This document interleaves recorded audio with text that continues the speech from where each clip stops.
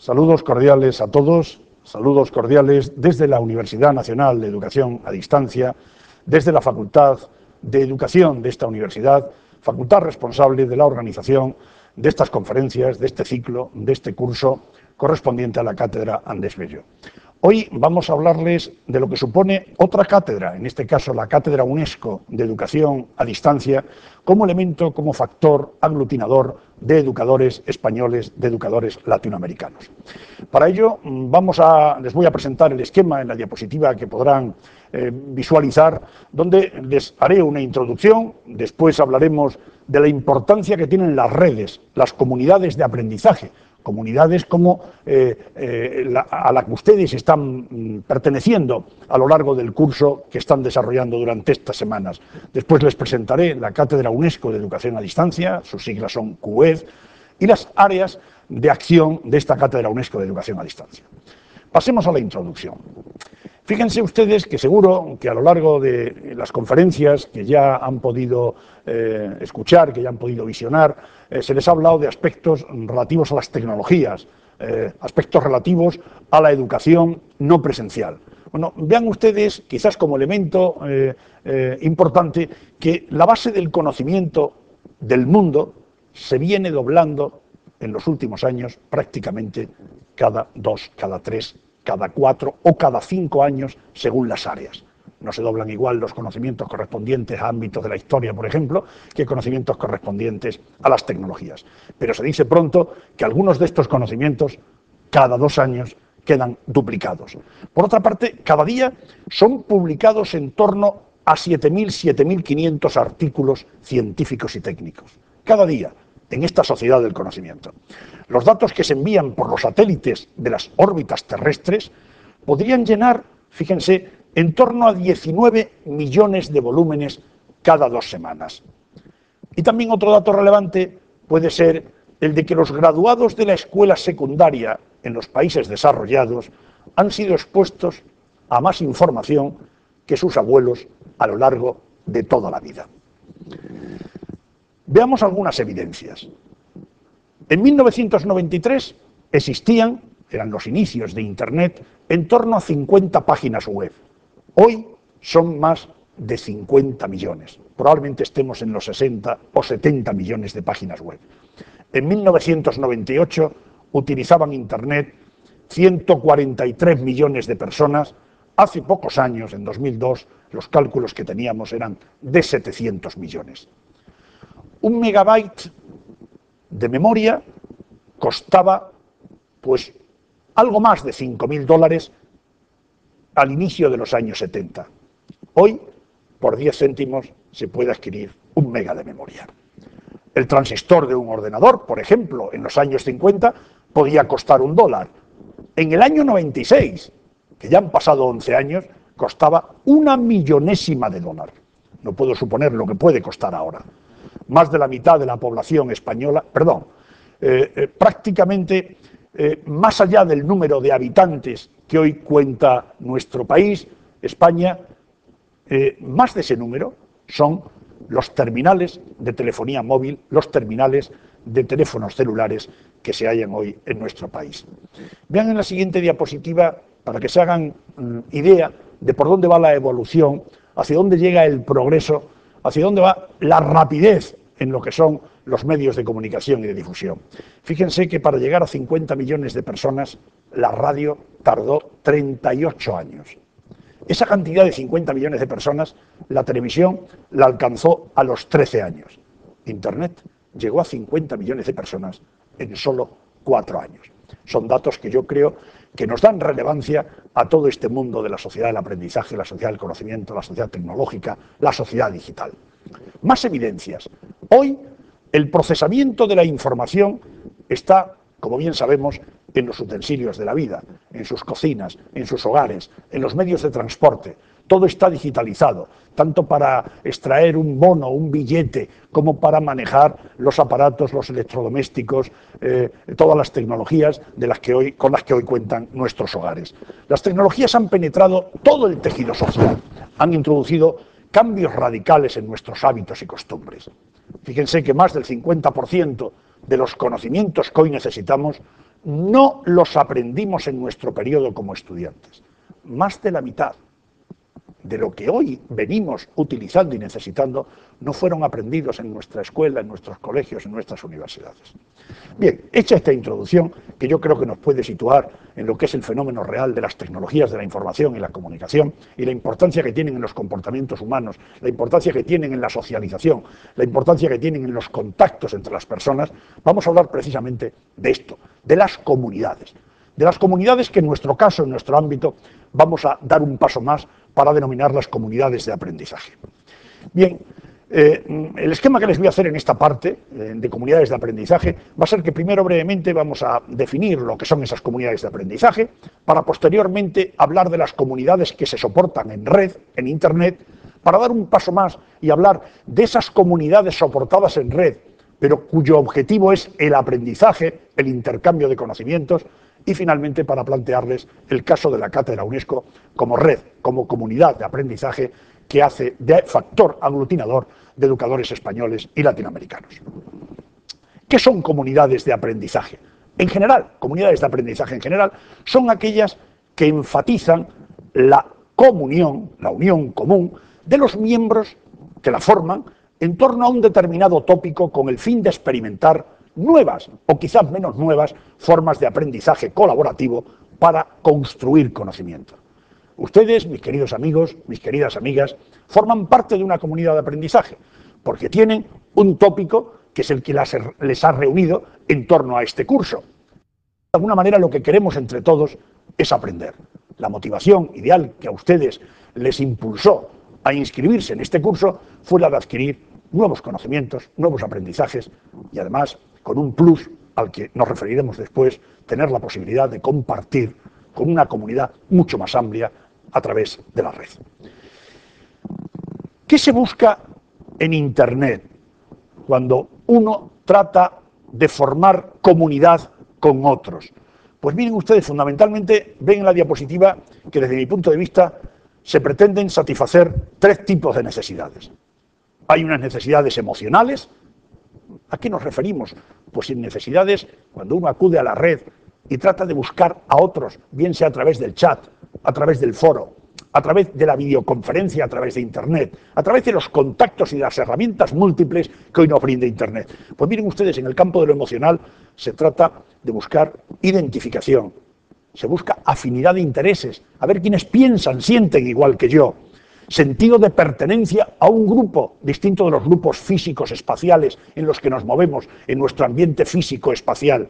Se busca también aceptación social, atención, que otros nos escuchen, si es posible que nos vean, reconocimiento, apoyo, es decir, eh, eh, una serie de elementos de carácter emocional que nos puedan hacer, en definitiva, más felices, que nos puedan hacer sentirnos mejor con nosotros mismos. Pero también se busca otro tipo, de satisfacción de otro tipo de necesidades, las de carácter profesional, las de carácter intelectual. Por ejemplo, hay gente que busca en esas comunidades la posibilidad de expresarse para que otros les escuchen, otros les vean, otros les atiendan. Enriquecimiento de ideas, buscan intercambio de información, de conocimiento entre culturas distintas, actualización, asesoría especializada, búsqueda e información especializada, programación, organización, asistencia a eventos, cursos, conferencias, etcétera.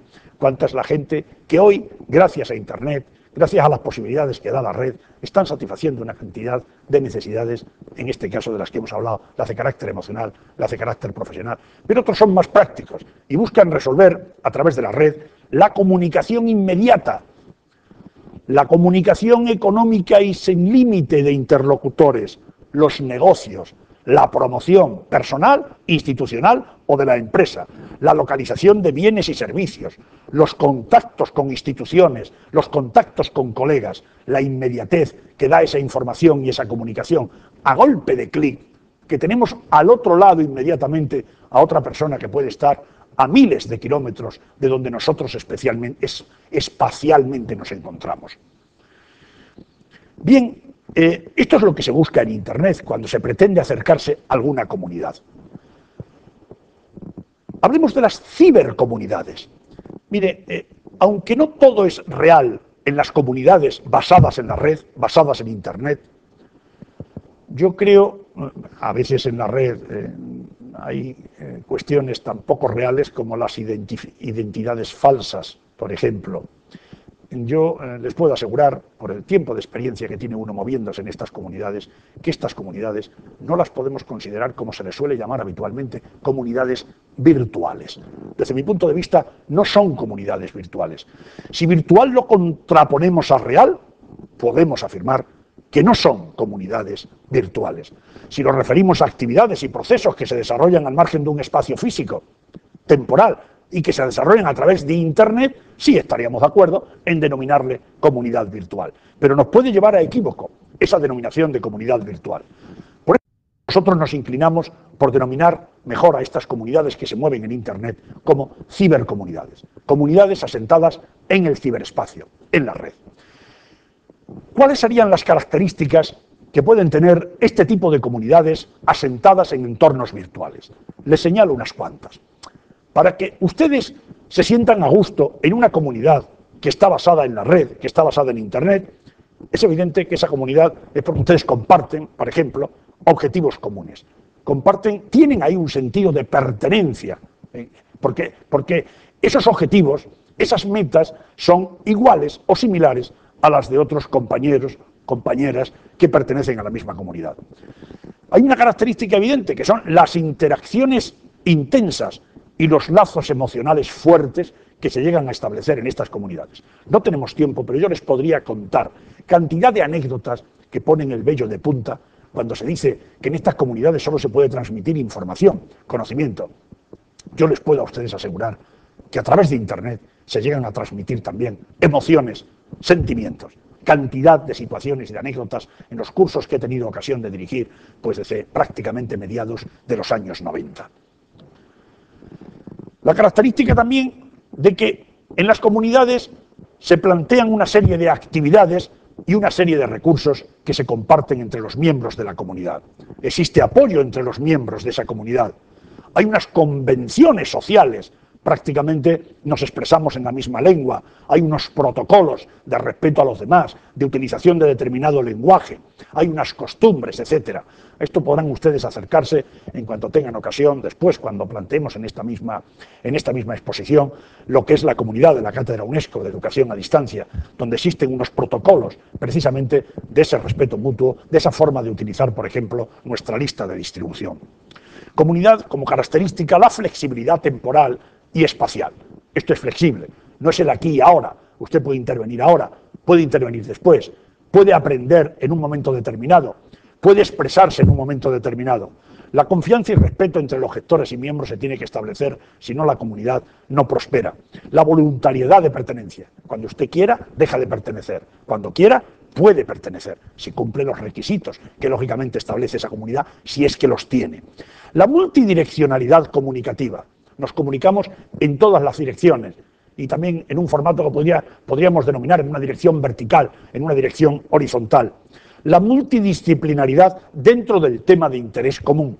Hay un tema que es el tópico común, que nos reúne a todos, por ejemplo, en este curso, eh, básicamente el título del curso. Pero, sin embargo, se están mirando muchos enfoques concretos de esas posibilidades de colaboración entre España y países hermanos de Latinoamérica. Y la libertad de expresión.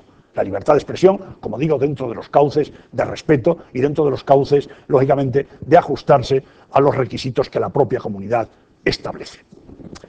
Son, en suma, estas comunidades grupos humanos.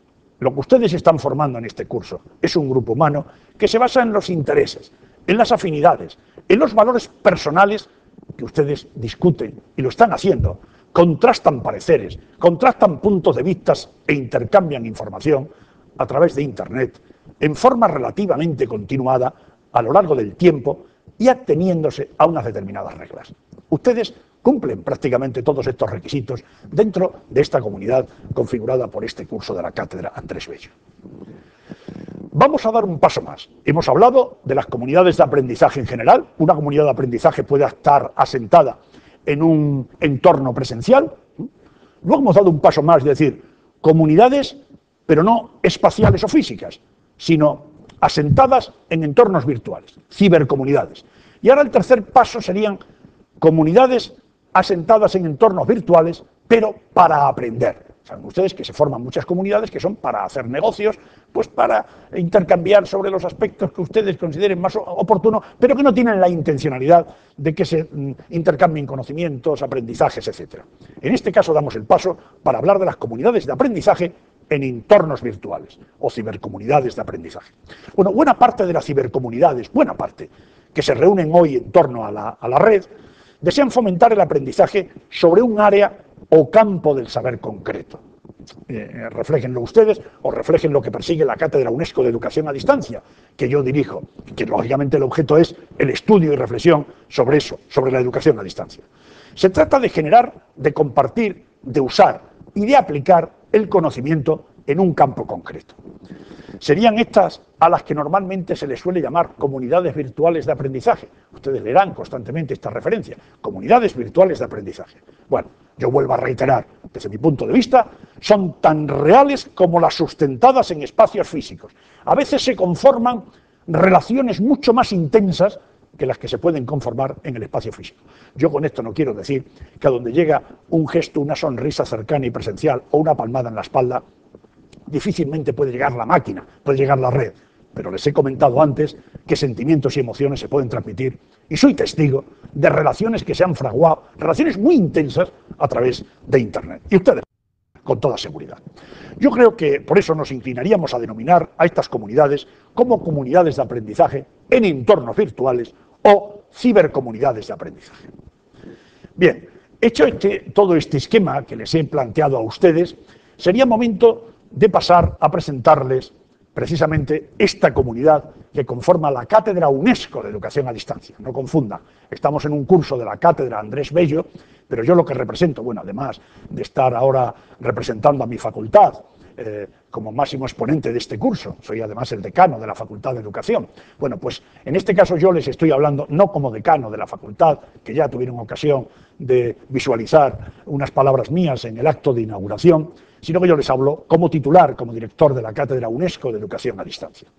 Bueno, pues ahí ven ustedes las siglas QED de la Cátedra UNESCO de Educación a Distancia. Esas son las siglas de la cátedra y ahí tienen ustedes la dirección electrónica donde pueden ustedes asomarse a todo lo que ofrece esta cátedra UNESCO.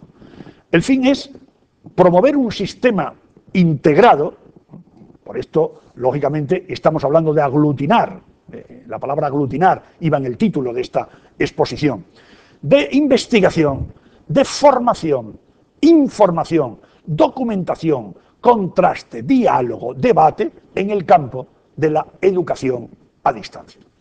Cuando nos planteamos la posibilidad, desde la cátedra, de eh, la cátedra UNESCO de Educación a Distancia, de formar una comunidad, nosotros nos hicimos varias preguntas a las que tratamos de responder. ¿Dónde la íbamos a ubicar? Pues lógicamente si la cátedra UNESCO está en la UNED, pues la íbamos a ubicar en la UNED y parecía que lo más cercano era la Facultad de Educación. ¿Quiénes la formarían? Pues todos aquellos expertos, pensadores, que reflexionan, que estudian, docentes e investigadores ocupados y preocupados por la educación a distancia. ¿Qué temas y actividades la centraría?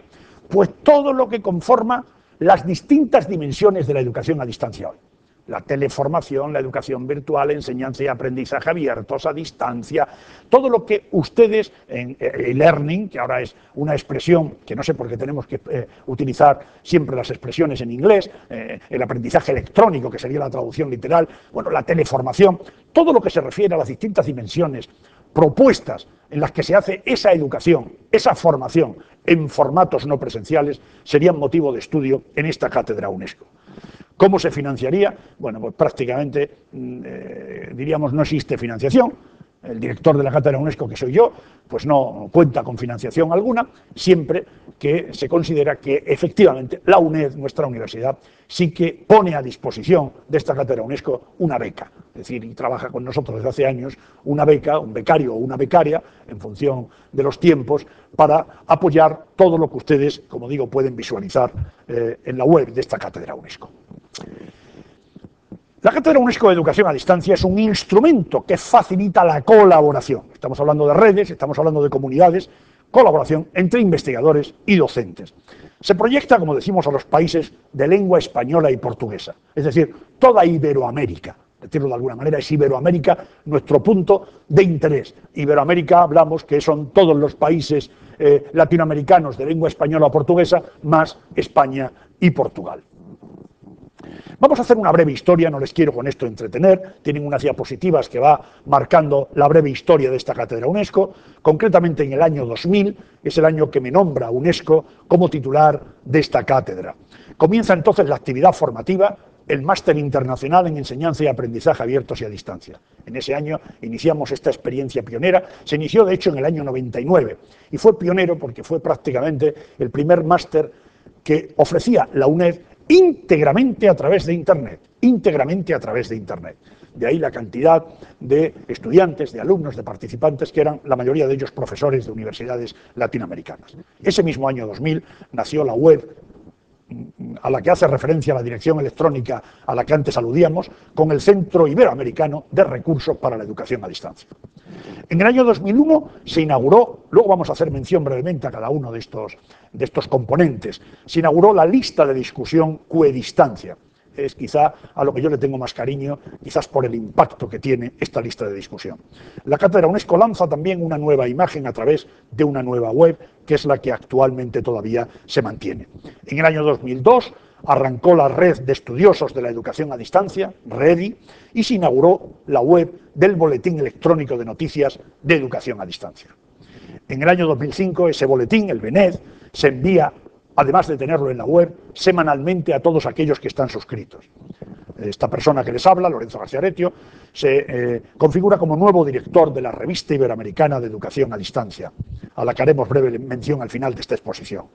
La cátedra además coordina proyecto, actualmente el proyecto europeo potentísimo de NetActive.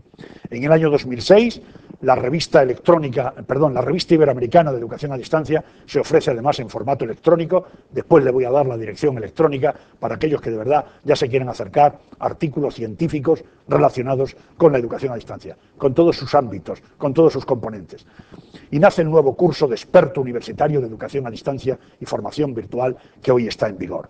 En el año 2007, actualmente, le hemos dado un nuevo formato electrónico al BENED, eh, que lo enviamos por email, como digo, semanalmente, y se prevé en este año, está cercano a ello, el nacimiento de un blog del BENED. Saben ustedes lo que son los blogs, no tenemos tiempo para desarrollarlo, pero es otra herramienta importantísima que hoy se viene, como se manejando muchísimo en los entornos de Internet.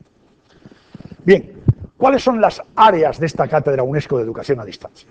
Pues vean ustedes la diapositiva que les presento a continuación, esquemáticamente, ahí las tienen representadas. Áreas de formación, área de la lista de discusión, área de información, área de investigación y el centro de recursos y documentación. Vamos a verlos brevemente. En la historia breve que les he planteado ya les he hecho mención a ellos, pero vamos a hacer brevemente una mención a cada una de esas áreas. Área de formación. En el área de formación les voy a presentar, les he hablado brevemente del Máster Internacional en Enseñanza y Aprendizaje Abiertos y a Distancia, que nació en el año 99 del siglo pasado y que terminó en el año 2006. Este fue un máster internacional con un impacto tremendo, con participantes de 32 países diferentes y que ya lo hemos concluido precisamente porque en la universidad se está planteando un máster también de, estas características, pero ya adaptado a las nuevas exigencias del espacio europeo de educación superior. Saben ustedes que la convergencia europea nos exige planteamientos nuevos. Eh, hasta ahora en España no existían títulos de máster reglados, oficiales, eh, a partir en breve, ya, ya se han empezado a impartir algunos este año, eh, se están ofreciendo desde las universidades maestrías o másters que ya son oficiales. Es decir, en nuestra universidad, antes, como saben ustedes, solo había titulaciones de diplomado universitario, licenciado universitario y doctor. A partir de ahora habrá solamente grado, o sea, grado universitario, graduado universitario, máster en la especialidad correspondiente y doctor. Se suprimen estas dos vertientes que había antes de diplomado y licenciado. Y estos los dos pasarán a denominarse en el futuro, bueno, ya se están diseñando estos planes de estudio, grado y el posgrado que estará formado por el máster y por el doctorado. Por eso el máster en enseñanza y aprendizaje abiertos y a distancia eh, lo suprimimos el año pasado para adecuarlo a esas características y calculo que en un par de años podremos impartirlo de nuevo. Pero la cátedra UNESCO, que tiene, debe tener una acción concreta de formación, ha sustituido el máster por un curso de un año, el máster tenía dos años, un experto universitario en educación a distancia y formación virtual. Este curso ofrece una formación de excelencia en las prácticas más innovadoras de la educación en entornos virtuales y el aprendizaje en red. Pueden ustedes visitar también su página web. Desde la página principal de la Cátedra UNESCO hay un enlace, hay un link al experto universitario del que les estoy hablando.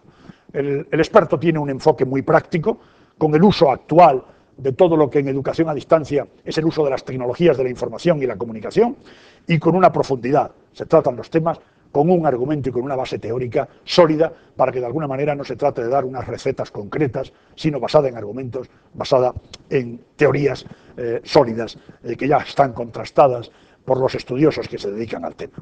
Y esto está dirigido a contextos educativos de formación y a los ámbitos empresariales, que lógicamente formar los recursos humanos de las empresas, hoy nada mejor que hacerlo utilizando las tecnologías de la información y la comunicación. En ese ámbito de la formación, la Cátedra UNESCO de Educación a Distancia tiene otro programa, los programas de doctorado, que se vienen haciendo ya desde hace bastantes años, desde el año 88. Es la formación del tercer y desde aquí se ofrecen dos cursos dentro de ese programa de doctorado de teoría de la educación y pedagogía social. Hay una línea clara de investigación en nuestro departamento, porque yo además de ser decano pertenezco a un departamento de la facultad que se denomina Teoría de la Educación y Pedagogía Social, y ahí históricamente hay una línea de investigación sobre la enseñanza y el aprendizaje abiertos y a distancia, EAAD, como aparece en la diapositiva. Y como digo, estos cursos de doctorado ya son veteranos, desde el año 88 venimos ofreciendo este tipo de formación. Pasamos a otra área de la Cátedra UNESCO de Educación a Distancia, como le digo, eh, les decía antes que yo le tengo eh, mucho cariño. Es eh, el área mm, relacionada y dirigida a la lista, a la lista de distribución, a la lista de discusión QE-distancia. Así la denominamos. También se denomina QED-L. La lista QE-distancia, saben ustedes que las listas de distribución son la base de las redes, son la base de las comunidades en entornos virtuales las listas de distribución, ustedes seguro que pertenecen a más de una lista de distribución, son esa posibilidad de buscar intercambio entre las personas, intercambiar conocimientos, informaciones, contrastar ideas, debatir. Para esto nació nuestra lista. Y miren ustedes que hoy, en el año 2007, cuando cumplimos nuestro aniversario, el 23 de febrero pasado, contaba la lista con 2.654 miembros, atención, activos. Es decir, que desde que nació la lista, en el año 2001, en la historia lo hemos ido viendo, desde que nació hasta el momento actual, contamos con 2.654, que serían muchísimos más.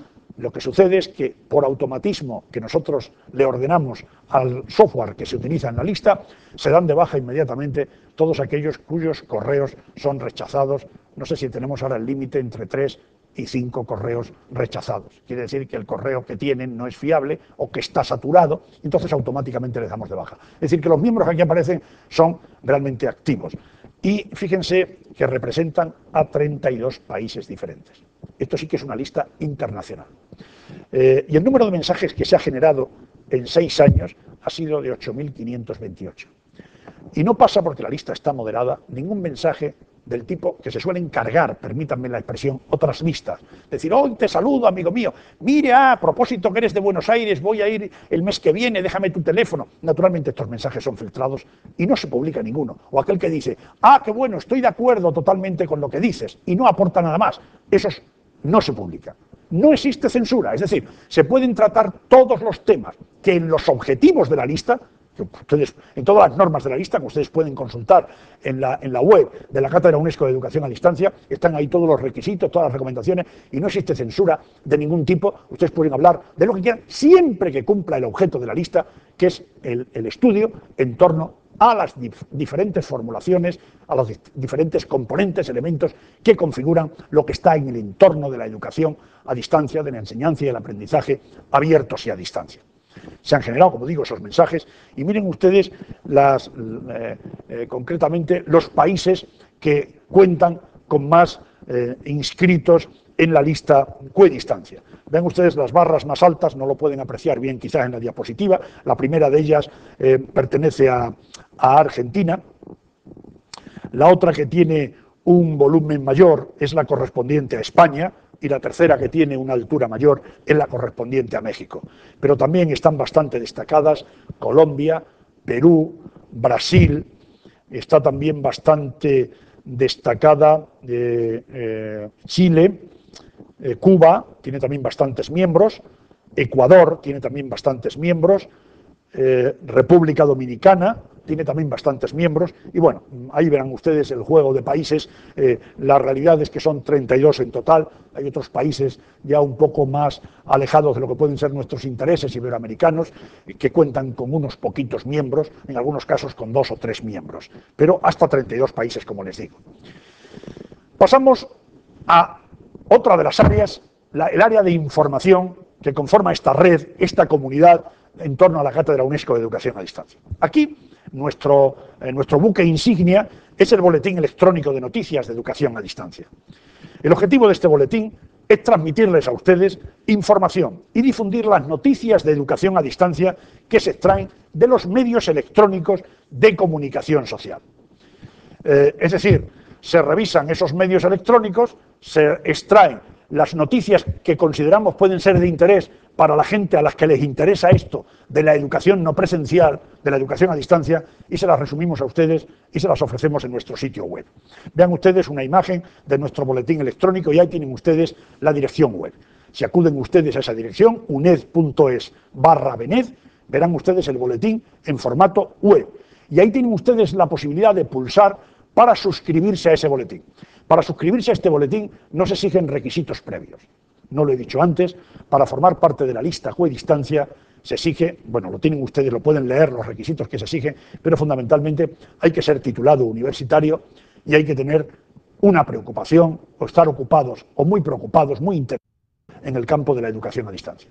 Pero para recibir el boletín, basta, insisto, con que acudan ustedes a esta dirección y ahí se les recomienda, hay un botoncito que dice para suscribirse y pueden ustedes suscribirse y pueden suscribir a sus amigos y entonces recibirán semanalmente ese resumen de noticias en su correo electrónico relativos a la educación a distancia.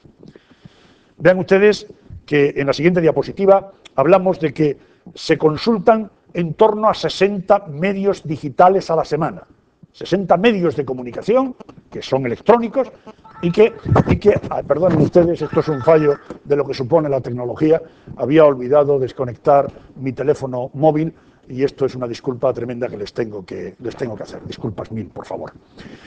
El número total de miembros inscritos en el Boletín Electrónico de Noticias de Educación a Distancia a fecha del 23 de febrero son 3.195. Todos ellos, igual que les dije antes en la lista, activos porque rápidamente se dan de baja aquellos cuyos correos electrónicos son rechazados entre tres y cinco ocasiones. El número de noticias encontradas en estos cuatro años han sido más de 5.000 tienen ustedes ahí toda la referencia, y todas ellas, salvo aquellas que estén muertas en los medios de comunicación de que tratan, todas ellas pueden ser consultadas actualmente, insisto, a no ser que el medio de comunicación la haya ya desconectado del enlace correspondiente. Es decir, que tienen un, historial de información relativa a todo lo que está en el entorno, a las tecnologías aplicadas al mundo de la educación, tremendamente amplio. En la, segunda, eh, en la siguiente diapositiva, en ese gráfico de torta, ¿verdad? verán ustedes que eh, el, el 37%, el 37% de los miembros que reciben el BENET son españoles, pero el 81% son residentes en países de Iberoamérica. Tienen un gráfico en la siguiente diapositiva, un gráfico de barras, en el que verán ustedes los países eh, donde más inscritos, más suscriptores tenemos del boletín electrónico. Está España, México, Colombia, Argentina, Perú, Chile, Venezuela, El Salvador, Ecuador y así hasta los más de treinta y tantos países que forman parte de esta comunidad que recibe el boletín todas las semanas. Y en la siguiente diapositiva, en otro gráfico de Tarta, verán ustedes también los eh, lo pueden ver con detenimiento, aunque eh, eh, la imagen puede quedar pequeña. los, los apartados en los que hemos inscrito fundamentalmente esas noticias y de dónde hay más noticias. Verán ustedes que sobre e-learning hay eh, en, la, tarta esa que se les presenta un amplio número de contenidos. Eh, también tienen ustedes Internet y Cultura como muy destacado, tanto uno el que he dicho antes como el de ahora, por encima, uno el 19,75 y el otro 17,92, quizás los ámbitos de los que más noticias se generan, pero tienen ustedes otros ámbitos que nada más, como digo, con suscribirse al boletín, tienen ocasión de poderlo ir comprobando. Pasamos a la siguiente área, la de investigación. En el área de investigación les voy a presentar brevísimamente un proyecto en el que estamos empeñados desde hace más de un año, el proyecto COSIPEDAL, lo ven ustedes en la parte baja de la diapositiva, COSIPEDAL, que las siglas esas se refieren al título que le damos en esta diapositiva, Concepción, Situación y Prospectiva de la Educación a Distancia en América Latina.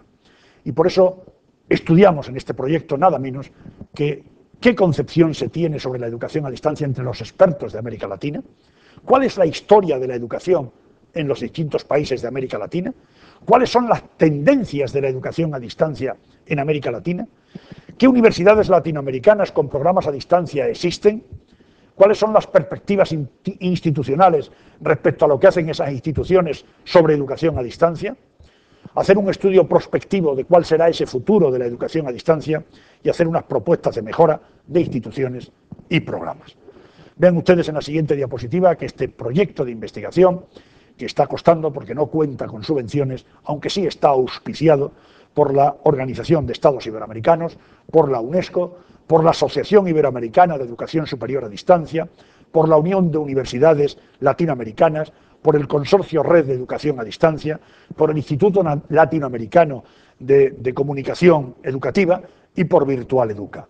Y ahí tenemos ahora mismo los tres proyectos que más avanzados tenemos. El CEDAC, Concepción de la Educación a Distancia, el TEDAL, Tendencia de la Educación a Distancia, y el EDAL, Historia de la Educación a Distancia en América Latina. Y como proyecto estrella que estamos desarrollando, este sí con una fuerte subvención, es el proyecto NetActive, el proyecto NetActive eh, se trata de un proyecto para la transferencia de créditos en educación a distancia de carácter virtual. Es una investigación, como digo, un proyecto europeo muy potente del proyecto Erasmus Mundus y en la siguiente diapositiva, en el mapa que les presentamos, ven ustedes los centros que estamos participando. El proyecto lo está coordinando la UNED, tengo el honor de dirigir este proyecto NetActive, tiene una duración de dos años y calculamos que allá por el mes de noviembre, que es su parte final, podrá estar disponible la posibilidad de que se puedan realizar, se puedan realizar, como vemos eh, en la diapositiva siguiente, eh, másters europeos a distancia eh, en terceros países, es decir, por miembros residentes en países, sobre todo con el énfasis especial en América Latina, que puedan realizar másters oficiales en Europa ya con los créditos nuevos del sistema europeo, del espacio europeo de educación superior, los célebres eh, créditos que ustedes habrán escuchado, ECTS. Y bien, y ya terminamos con la última área de la web, el área de documentación. En el área de documentación, bueno, les pongo ahí una imagen eh, más amplia que tienen ustedes que tienen ustedes de la web de la Cátedra UNESCO de Educación a Distancia. Se trata de eh, eh, un centro de recursos eh, para la educación a distancia. La dirección es uned.es barra. Y este centro es el órgano de expresión de la Cátedra UNESCO de Educación a Distancia. Y ya finalmente en, este, en esta web aparecen eh, todos los buscadores relevantes hoy existentes en Internet. La procedencia de las visitas la tienen ustedes en la diapositiva siguiente. 90 países diferentes acceden normalmente a este centro de recursos. La web cuenta con más de 1.000 archivos, 500 imágenes y en torno a 12.000 hipervínculos. Y ahí pues tienen ustedes una relación de fundamentalmente a lo que nos dedicamos. Eh, hay un Java de noticias con recomendaciones de los documentos más relevantes. Tienen ustedes eh, cantidad de páginas de documentos relativos a la educación a distancia, aquellos que estén interesados en la tutoría, en las plataformas virtuales, en la evaluación en la educación a distancia, en los recursos en educación a distancia. Ámbitos de formación de la Cátedra UNESCO, entornos y plataformas, asociaciones de educación a distancia, los congresos y eventos. Por ejemplo, la, la, página de congresos y eventos es una de las más actualizadas a nivel internacional. Ahí pueden ustedes acudir con frecuencia a ver qué congresos, qué seminarios, qué jornadas se celebran en el ámbito internacional relacionados con la educación a distancia las instituciones y centros, las bibliotecas, todo lo referente a Internet relacionado con la educación, educación y formación, colaboración. Realmente eh, tienen ustedes prácticamente todo aquello que les pudiera interesar, si es que alguno está de verdad, eh, siente algún impulso y algún interés hacia la educación a distancia. Y ya termino simplemente con esta diapositiva eh, relacionada con la revista iberoamericana de educación a distancia, la RIED. Esta revista eh, importante. Yo les invito a que la visiten. Y vuelvo a repetir, si algunos de ustedes tienen mucho interés sobre la educación a distancia, aquí van a encontrar cantidad de artículos, de trabajos científicos, porque este es el órgano de expresión de la Asociación Iberoamericana de Educación a Distancia. Aquí se difunden esos trabajos científicos en el ámbito de la educación a distancia. Comenzó a publicarse en el año 88, tiene una periodicidad semestral, se eh, eh, edita en doble formato, en un formato impreso, que les puede llegar a todos los que estén suscritos y en un formato electrónico que ustedes pueden visitar. Tienen ustedes ahí la dirección electrónica en la diapositiva correspondiente. La revista está editada por la Universidad Técnica Particular de Loja de Ecuador y está dirigida por esta persona que les abra, que es el director de la revista y a la vez director de la Cátedra UNESCO de Educación a Distancia. Es decir, la Asociación Iberoamericana de Educación a Distancia ha encargado la dirección de la revista a la Cátedra UNESCO de Educación a Distancia. Pueden ustedes, como digo, como digo visitar su sitio web. Y ya mis queridas amigas, mis queridos amigos, solamente me queda invitarles formalmente a participar en este grupo humano distinto del que ustedes configuran, de la Cátedra Andrés Bello, eh, el grupo de la Cátedra UNESCO de Educación a Distancia, que es una comunidad de aprendizaje en entorno virtual. Cada uno que participe pues al nivel que le esté permitido, que pueda o que desee. Mis queridas amigas y amigos, muchas gracias, que tengan ustedes mucho éxito en este curso, que de alguna manera tengo cierta responsabilidad en él, a ser decano de la facultad que lo ha acogido. Eh, muchos éxitos a la cátedra Andrés Bello, muchos éxitos al curso patrocinado por esa cátedra Andrés Bello y la cátedra UNESCO de Educación a Distancia está a disposición de todos. Gracias.